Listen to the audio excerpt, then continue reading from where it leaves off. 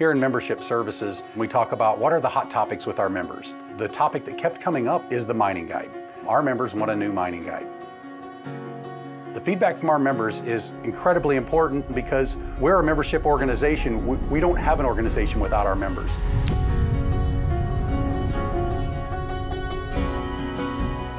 We can give you a map, but that doesn't necessarily tell you exactly where to go, and it sure doesn't tell you where the gold is.